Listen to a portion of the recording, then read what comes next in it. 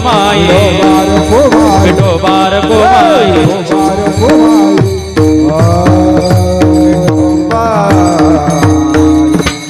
माई विचार तरावया भव सिंधू पार। धरा संतांची संगती मुखी नाम आभुरती। सज्जना हो विचार चांगले असावेत आणि जीवनात संगत चांगली असावी असाच्या अभंगाचा सार होता. आज एक वर्ष पूर्ण झालं. ज्यांच्या जीवनात ज्यांनी कष्टानं केली होती आयुष्याची सुरुवात सर्वांवरती फिरवला मायेचा हात. सुखाचे दिवस जवळ येताच्या गव्हाणे परिवाराकडे फिरवली पाठ. पण हाच गव्हाणे परिवार ज्यांची नेहमी बैल चातकाप्रमाणे वाट असे कैलासवासी भाऊसाहेब बापू पाटील गव्हाणे यांच्या श्राद्ध विधी करता आपण इथं जमलेलो आहे सज्जना या परिवाराचा एक आधारवड हरपलाय. अहो कीर्तनकार येतो गायक वादक येतात श्रोतो वर्ग येतो. कीर्तन ऐकतो कीर्तन करणारे कीर्तन करतात निघून जातात. पण ज्या परिवारातला आधारवड गेलेला असतो ना त्यांना माहीत असतं त्या कुटुंबावरती काय शोककळा असते मुलं असतील मुली असतील त्यांची पत्नी असेल त्यांना आता आठवण येणार नाही. येणार नाही आठवण पण कधीतरी एखादा संकटाचा काळ या परिवारावरती येईल ना. त्यावेळेस त्यांना नक्की या गेलेल्या जीवात्म्याची आठवण आल्याशिवाय राहणार नाही. इतिहास वाचणारी माणसं आहेत आपण सज्जन आहो ज्यावेळेस धर्मवीर संभाजी महाराजांना मुकरब खानानं पकडलं आणि औरंगजेब समोर आणून उभं केलं ना सोबतीला कवी कलश होते राजांच्या. राजांच्या डोळ्यामध्ये आस्व दिसत होती आणि कवी कलश विचारत होते संभाजी राजांना क्यो राजे? डर गये क्या? डर गये त्यावेळेस संभाजी राजे सांगत होते कवीजी घाबरलो नाही गड्या. घाबरलो नाही हो. पण आज खेद एका गोष्टीचा वाटतो. अरे आज जर आमचे आबासाहेब जिवंत असते ना लाख प्रयत्न केले असते कवीजी लाख पण या औरंग्याच्या तावडीतून मला सोडवलं असतं. ज्यावेळेस संकटाचा काळ येईल त्यावेळेस या परिवाराला नक्की त्यांच्या बापाची आठवण आल्याशिवाय राहणार नाही. कळले नाही समुद्रामध्ये सूर्य कधी बुडाला. कळले नाही मळ्यामधुनी पक्षी कधी उडाला मरणाचा भरवसा नाही म्हणून सर्वांनी प्रेम केले. हे जीवनरूपी प्रेम फोटोत प्रेम झाले. सज्जन हो आज हा परिवार मोठ्या पदावरती आपल्याला उच्च स्तरावरती दिसत असेल. पण त्यांच्या मागे त्यांच्या वडिलांचा हातभार नक्की होता. म्हणून एक वाक्य मी वाचलं होतं काल तुटक्या चपलेल्या आणि शिळ्या भाकरीला कधी नावं ठेवायची नसतात. तुटक्या चपलेला आणि शिळ्या भाकरीला कधी नावं ठेवायची नसतात. कारण चप्पल आज जरी तुटकी आहे काल तिनं आम्हाला चालण्याकरता आधार दिला होता. आणि भाकर आज जरी शिळी आहे ना तिनं आमचं काल पोट भरलं होतं. तसा हा गेलेला जीवात्मा आहे ना यांनी त्यांचा संसार करत असताना अतिशय कष्टमय जीवन अनुभवलंय गड्या. अतिशय कष्टमय जीवन अनुभवलं तेव्हा संसार आज कुठेतरी प्रगती करतोय. बाप करी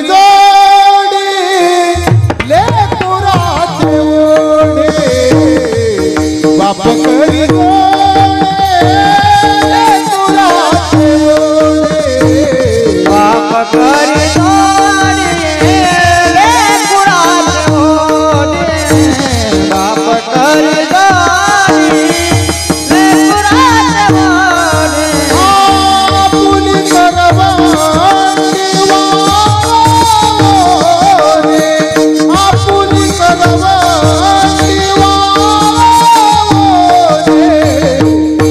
Yeah.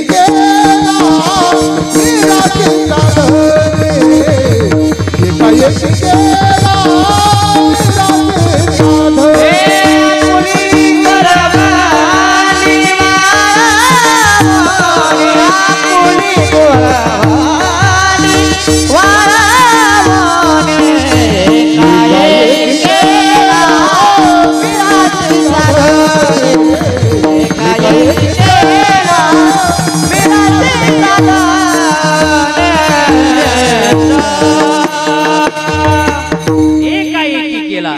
मिरासीचा धनी अहो बाप आपलं सर्वस्व मुलाच्या स्वाधीन करत असतो पण आजपर्यंत आम्हाला आमचा बाप कळाला नाही. अहो कवयित्री असतील आणि कीर्तनकार करायचं आईचं तोंड भरून वर्णन त्यांनी केलं हो. शाळेत गेलो आम्ही लहान असताना शाळेत गेलो ना. शाळेत गेल्यानंतर आमच्या मित्रमित्रांची भांडणं झाली. गुरुजींनी आमचा हात धरला वर्गामध्ये घेतलं. आणि विचारलं बाळा सांग चूक कोणाची आहे? आम्ही शपथ घेऊन सांगितले सर आईची शपथ घेऊन सांगतो चूक माझी नाही. आम्ही शपथ सुद्धा आईची घेतली. का हो? बाप शपथ घेण्याच्या सुद्धा लायकीचा नव्हता का? पूर्वी उन्हाळ्याच्या सुट्ट्या लागल्या की गुरुजी आम्हाला निबंध लिहायला सांगायचे. पोरा हो शाळा भरली रे की निबंध लिहून आणा. आम्ही निबंध सुद्धा माझी आईच लिहिला. माझा बाप निबंध आजपर्यंत कोणाला आठवलाच नाही सज्जन हो साने गुरुजींनी श्यामची आई नावाचं पुस्तक लिहिलं पण श्यामचा बाप साने गुरुजींना दिसला नाही. नाही दिसला. पूर्वीचा काळ बघा जर यात्रेकरता कुठं जायचं ठरलं ना गाड्या नव्हत्या.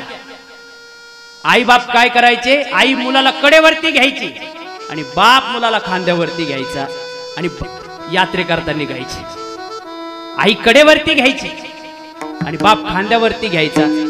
आईनं जर बापाकडं पोरग दिलं बापानं जर खांद्यावरती दिलं तर आई म्हणायची कळतं का तुम्हाला?